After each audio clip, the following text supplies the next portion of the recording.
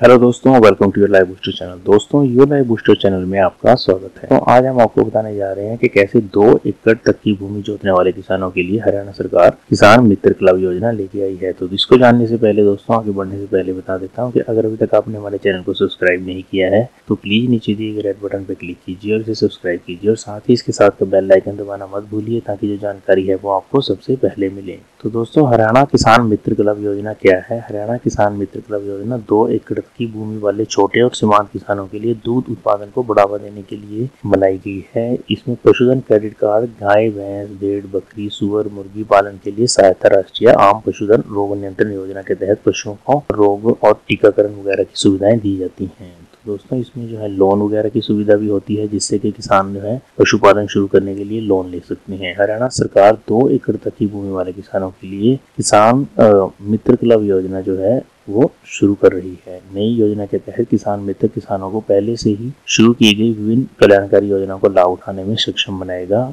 मुख्यमंत्री मनोहर लाल खट्टर ने अधिकार अधिकारियों को किसान मित्र योजना जल्द से जल्द तैयार करने के लिए निर्देश दिए हैं। कई सरकारी अधिकारी प्रगतिशील किसान, स्वयंसेवक और अन्य किसान जो है, मित्र क्लब योजना से जुड़े होंगे यह किसानों को बेहतर आर्थिक प्रबंधन, नवीनतम प्रौद्योगिकी के उपयोग के माध्यम से अपनी कृषि उत्पादकता बढ़ाने में सक्षम करेगा। किसान क्रेडिट कार्ड की तर्ज पर पशुधन क्रेडिट कार्ड योजना के तेज़ी से इम्प्लीमेंटेशन पर ध्यान दिया जा रहा है। ये नए पशुधन क्रेडिट कार्ड दूध के उत्पादन को बढ़ावा देंगे और हरियाणा को प्रति व्यक्ति दूध उत्पादन में अग्रणी राज्यों में से एक बनाएँगे। सीएम खट्टर ने 6 जून 2020 को पशुधन जो है, पशुपालन और डेयरी बैठक की है और इसके निर्देश दिए हैं। कोरोना वायरस महामारी के कारण किसानों को विशेष रूप से छोटे और सीमांत लोगों को बहुत नुकसान हुआ है। पीएम किसान सम्मान निधि और अन्य किसान कल्याण योजना के तहत सहायता प्रदान किए जाने के बावजूद उन्हें सहायता प्रदान करने की आवश्यकता है। इसीलिए छोटे और सीमांत किसानों दो एकड़ तक की भूमि जोतने के लिए को सक्षम करने के लिए राज्य सरकार हरियाणा में किसान मित्र क्लब योजना शुरू करेगी। किसान मित्र के रूप में कार्य करेंगे और उन्हें कई कल्याणकारी योजनाओं को लाभ दिलाने में मदद करेंगे।